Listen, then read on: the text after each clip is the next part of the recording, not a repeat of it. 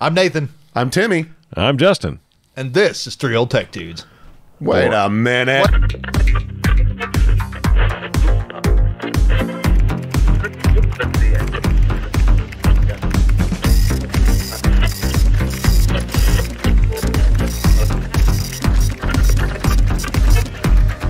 I think we just got lost. How did we do that? this is just weird. It's wrong. I got me a new speaker. What you got there? What That you thing got? tell- That's It's uh, that's a- does that tell the future? It is. It is. maybe it looks I, I would. I would like to say high fidelity, but Oh, what, hi, something. I think unfidelity might be the. get my picture making device here. So this is not quite, but almost a 100 year old speaker. Goodness. It turns 100 in two years. Moses headphones. He had a big head. If this was his headphones, I'm just telling you that.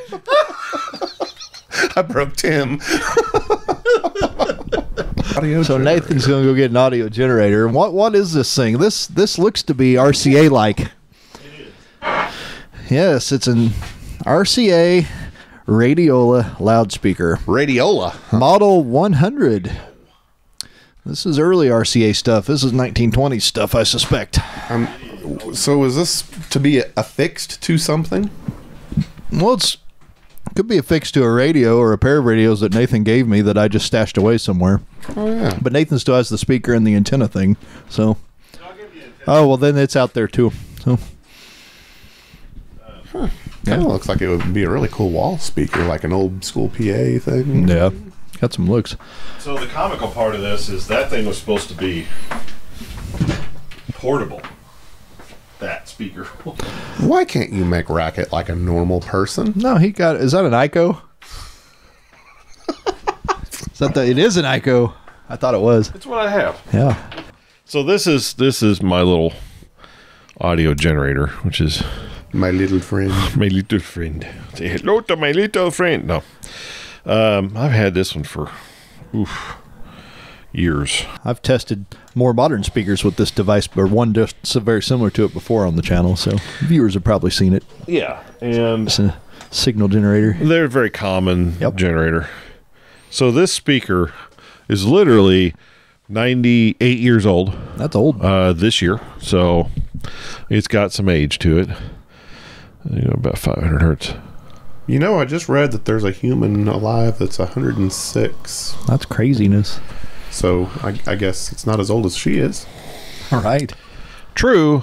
Um, let's see if I got this hooked up right. Finally, somebody using that. Oh look at this thing. So I got the. coast to coast. This thing is is amazingly old. Yeah. and the cover comes off the back so you're going to see this that on? Yep. okay. So the cover comes right off. It's actually three points that it connects into and just like twist lock type almost like a bnc connector. Uh, pretty gold. But this is an rca model uh, rca you know as we already said. 100. uh, 100 it's not Model One. i'm a little bit yeah. It's it's um it's old make sure that's not going to get up in there i don't think these wires are in good shape so I'm gonna go directly to the speaker because it's Don't high and touch the red and the black together. Now these typically took a whole lot of voltage swing to operate. yeah i think that's what i'm Actually, That little blue box got it in i can hear it Oh, I can't. I hear that. very slight. it's so very low um it is there Yeah. but it is. So the way these i mean if you think about a modern speaker you know with big magnets and all that kind of stuff this thing literally has a horseshoe magnet which is probably near dead i would almost guess because it is just so old. Hilariously what i should do is attach a couple of those those um rare earth magnets to this Oh, thing like radically increase its magnetism um, but it does actually function but these are really designed for a lot of high voltage going into them because they were designed to be worked with the old tube radios and the really old ones um, it's it's hard to hear but Could you rotate it toward us? The Yeah. back up from front from it. See if we're here now. Yeah. Yeah.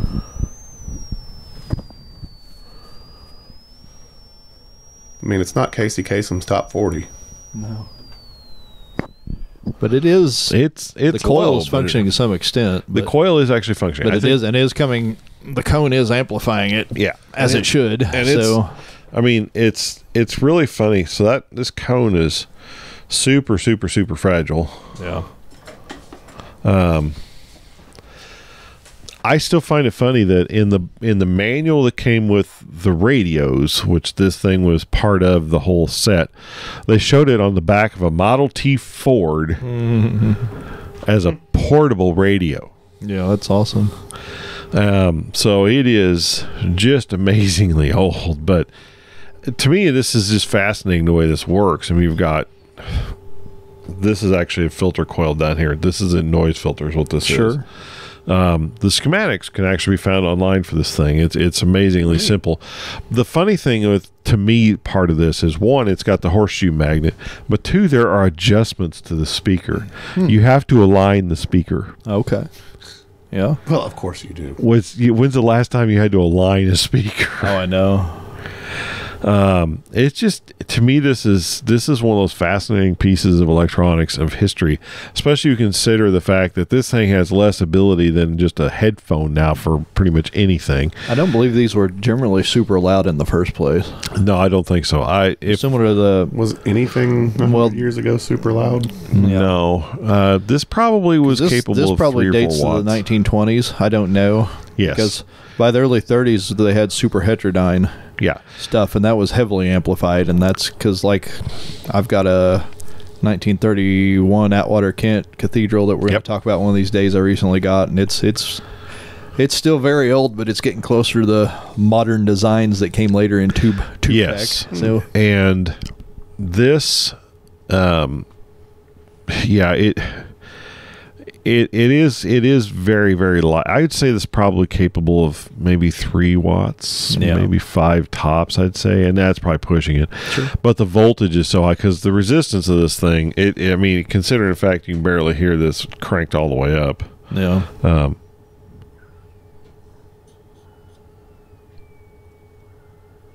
can hear that tone there pretty well yeah so and that's literally as high as it'll go i wonder if i square wave that It's like the ringtone that teachers aren't supposed to be able to hear.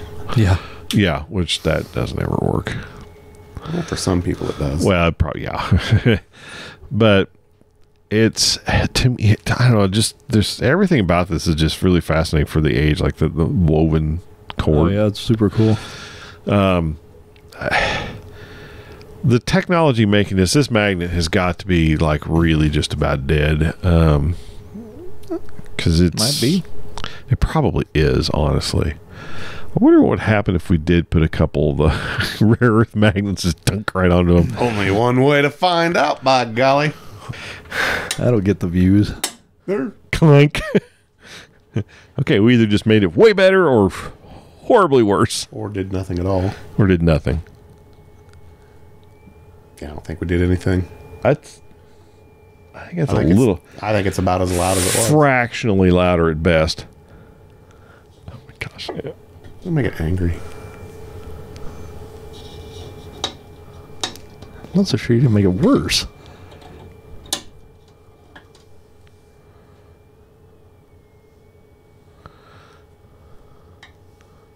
I don't know if you can actually get it much worse, to be honest with you. But you are. Has the volume dropped?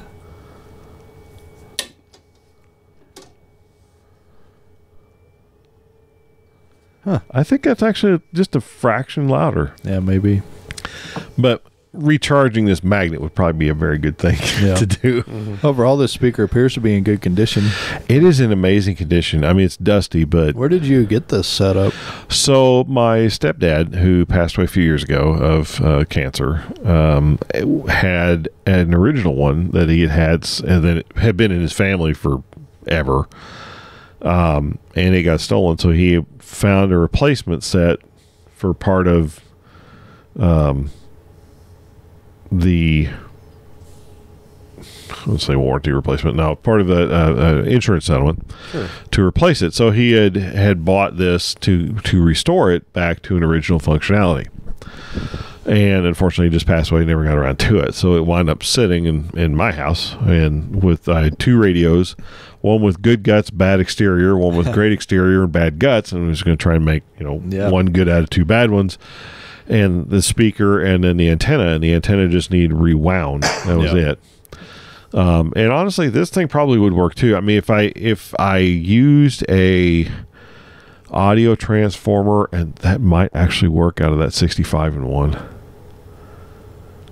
Yeah, mine. it might to kick the voltage up to lower because there's no current this, this resistance of this thing has got to be something like 10,000 ohms or something like that. I wouldn't try, I guess. guess it could I mean, I I won't pretend I know speaker tech that well. well this is trying to think of everything I've learned about that Water Kent 20 that I've never restored, which I had obtained. Those originally had a horn speaker with a coil in the bottom, but I bought the slightly newer Atwater Kent paper cone speaker, which has a lot of similarities to this, except it's not quite as deep. hey, if we're not experimenting on this stuff, we're not having fun. That's So, right. I'm here to see if this thing works. Yeah. so we've got a lightweight tone out of it. That's a good sign. That Yeah, it- means that The coil's still there. the coil exists and it functionally vibrates to some extent when fed I'm gonna scoot this proper signal. So, all Piece. Okay. All right. Get the fuzzies off everything. Sometimes We're gonna I use the when I'm fed too. the 65 in one kit here because, well, it was handy and it was sitting there. And it has the And I- parts we need and I to own it. accomplish the task, namely an audio transformer. Put that on my DX7. Okay. So, I believe I can go. Look, he's doing this without the instructionals or nothing. Dun, dun, dun. Well, yeah, I'm either going to make this work or not. I don't think I'm going to make it any worse. So, True.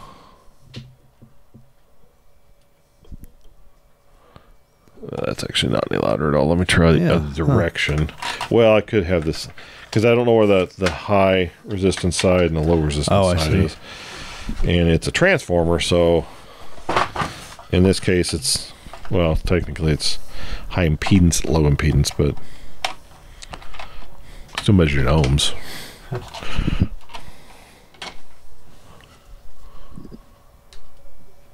Yeah, that's not doing what I wanted it to do.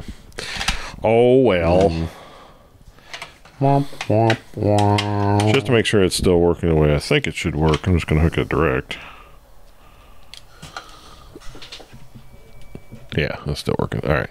Because what you should hear, for example, hooked to a normal speaker, and we'll use the 65 one here for for a high tech speaker, because it's it's a young speaker. Oh, there we go. Yeah. So that's what you really should hear. It's never super loud. I've but I've I this is actually the same piece of equ- piece of equipment or one like it that I use to test speakers in the radios I work on when I'm suspect of them. So yeah, and these are seeing how high the resistance is when it should be four ohms or eight ohms. Yeah, and my guess is this is probably like a ten thousand ohms. yeah, they're something very high. They have very high resistance. I know. Um, So. Yeah, it's I. I'm gonna guess It's guess doing pretty well though. it's not bad. I mean, I could actually what it is. So the DC resistance wouldn't is not necessarily what the AC resistance will be in this Right. thing, but I could check the DC resistance pretty easily on 20 mega ohm because I know it's gonna be. Yeah. wow, it's a very high resistance. yeah. Or it's screwed Open load. up. Mm, that's weird. so you should see that should be Yeah, no, the wires are fine. So let me take it down to 200. Make sure the wires themselves are actually good. Yeah, they're adequate. So, yeah, That's different. this is a very open. yeah, so the the resistance on this thing, I don't know, it may be, it actually may be getting weak. I don't know. Hmm. There's a jacket to a wire that's yeah. come apart. Well, some of it's Surely bad. not. So, of course, the other thing is it it I I had to look at the schematic. It may have capacitor in line, which of course this won't work then because Yeah, that's capacitor true. in DC. So, but I mean, it does still It does make sound. Yeah.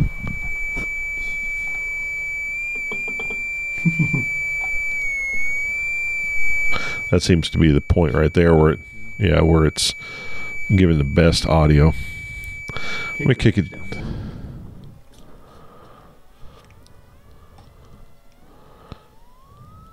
Goodness. There it is. Still about the same. Yeah, it's yeah. I can hear the high ones too. Yeah, it's just it's got a very limited range. Yeah. Yeah, let me go get my thousand watt amplifier. No, I'm just I'm kidding. We're not gonna do that because Oh, the end. that would just burn this thing to pieces. yeah, um, yeah, yeah. I wouldn't I wouldn't do that to this. Uh, not a piece like this is this is one of those super rare antiques that I mean they're out there. It's not like they make two or three of them, but you know, Right.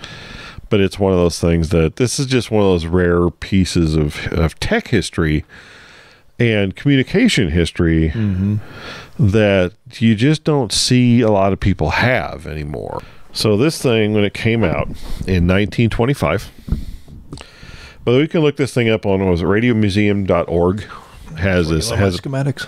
yeah, so this is the Radiola loudspeaker 100. And oh, you're fine. So its original price was thirty-five dollars, which a lot back then. Dang. yeah, which actually equates to like five hundred and something now. Yeah, oh, it, yeah. That's crazy. I looked up a little bit ago. Anyway, this is a look at the RCA Radiola Model 100 speaker from 1925. So that is Indeed. old school. Mm-hmm. Thanks for watching this video. Indeed. Checking out Nathan's old speaker. It is pretty cool. It is actually pretty. it's pretty fun. Yeah. Yeah. Be sure to like the video if you like it, or go check out some of our other videos. We get all kinds of stuff that we've talked about over Yeah. the last several years. So go check them out. There's bound to be something you like if you like vintage electronics or even modern electronics. in any way. there's some stuff out there from all eras at this point on the channel. So Yeah. be sure to click subscribe if you haven't already. You know, and uh, help us out. We'd appreciate it. Yep. Got anything else, boys? Uh, I'm good. You're good. All right. Well, hey, until next time. I'm Timmy. I'm Justin. I'm Nathan. And this is Three Old Tech Dudes. Thanks for hanging out with us here on Three Old Tech Dudes. Please subscribe to us here on YouTube for more tech old and new, tinkering at the workbench, repairs, ham radio, electronics, computers, and more. Please like this video and share 3OTD with your friends to help us grow the channel. We tweet at Three Old Tech Dudes 1 on Twitter, and you can keep up with us on Facebook. Just search for 3OTD and look for our logo. Thanks so much for watching.